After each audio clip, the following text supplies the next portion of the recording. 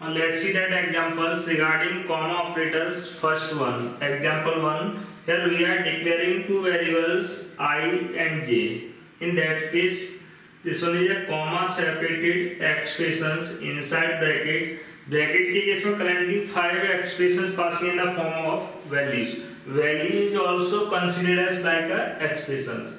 In that case, declaring two variables x variable y. What is the value of x and y? Initial value of x is 2, initial value of y is garbage. Next one.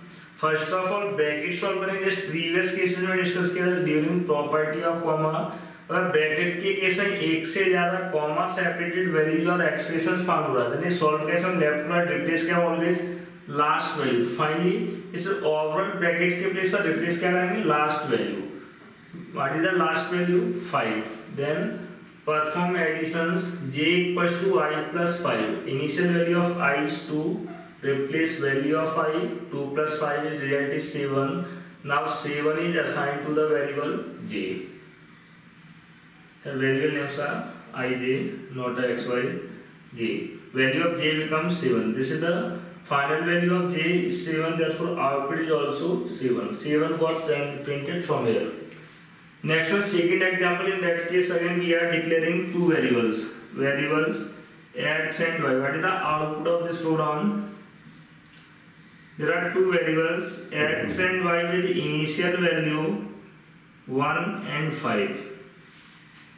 Next one, we are using conditional operator and comma. In that case, first of all, solving this condition. Condition is true. Condition true इस case में first one first question mark की search करेंगे column corresponding में से already मैंने इसके in case of conditional operator आपको explain किया था, सबसे पहले चेक क्या करें? Inner conditional this one is inner inner के केस में is continuous this one is also combination like that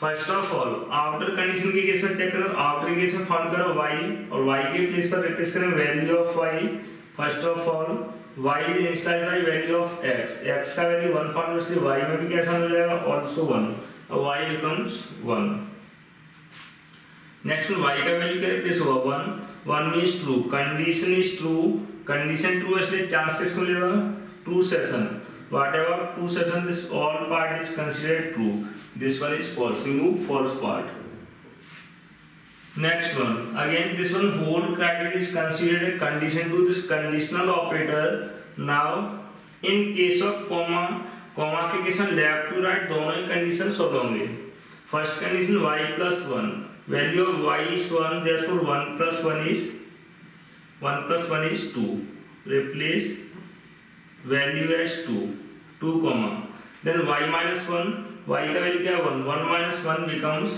again zero. One minus one is zero. therefore final case क्या होगा इसका? Two comma zero comma question mark, x comma colon y. In that case, जब condition test हुआ bracket के case में bracket से return क्या हुआ? Last result which is zero. Zero means false. False के केस में रिटर्न क्या हुआ? वाई। इस केस कोई प्रोसेसिंग परफॉर्म हो रहा है एक्सप्रेशन का रेट किसी वैल्यू में असाइन नहीं किया है। इसलिए एक्स और वाई की अभी भी इनिशियल वैल्यू क्या फॉर्म रहा 1 1 देयरफॉर आउटपुट क्या डिस्प्ले होगा आल्सो 1 1 हियर